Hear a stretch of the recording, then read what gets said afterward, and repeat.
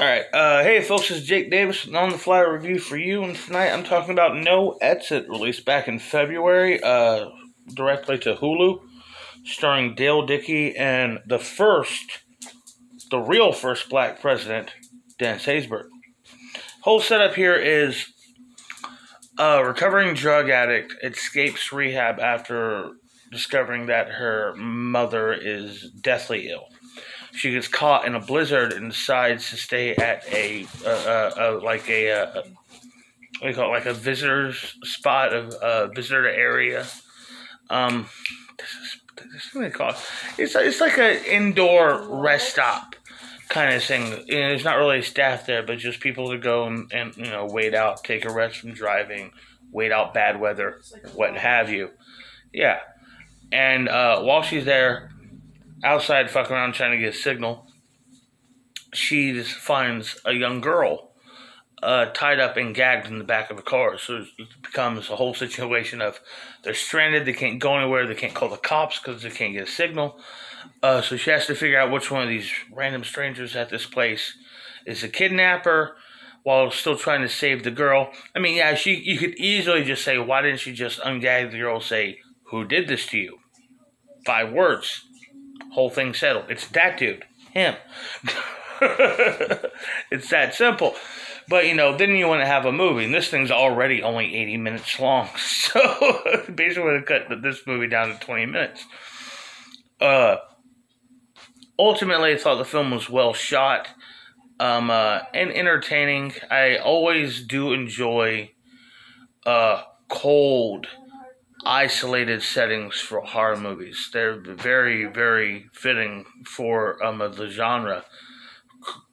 Instantly create uh, a sense of an atmosphere of inescapable danger uh, on a real world level. And I was saying that the villains being kidnappers instead of you know a, a, a serial killer or even a uh, like a like a like a vampire or something. I kind of I enjoyed that kind of providing this nice realistic threat. Uh, because you know kidnappers, traffickers, it's you know it's a serious problem. You know, keep an eye on your kids. Uh, but it's I, uh, I'm kind of in between on this movie. I enjoyed this movie. Uh, had uh some it reminded me of a of a of a certain 90s horror film that I absolutely fucking adore. And if you follow my channel, you know what the fuck I'm talking about. But if I were going to it, it would give away the ending.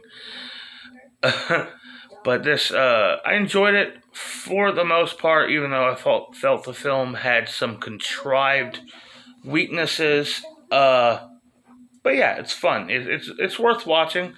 It's mostly, it is the just as I say, it's, it's, it's, it's well shot, nice photography, good editing, terrible CGI. I gotta point out this fucking PlayStation 95 CGI they got going on this thing. This is bad. Bad. It was bad. But fucking CGI was just so bad in this movie.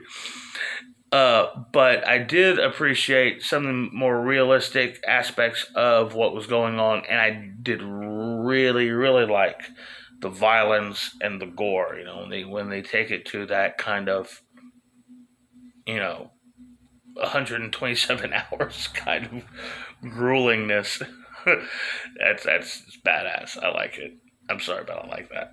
Anyhow, uh, I'm gonna give it three and a half stars. I mean, it's because it's it, it's recommended. I'm recommending it. Check it out. You know, if you got if you got Hulu, you feel like you come across it, check it out. It's worth it's worth your watch. It's a short flick. Uh, but uh, no, it's no masterpiece. Anyhow, I'm Jake Davis, and I'll catch you on the fly.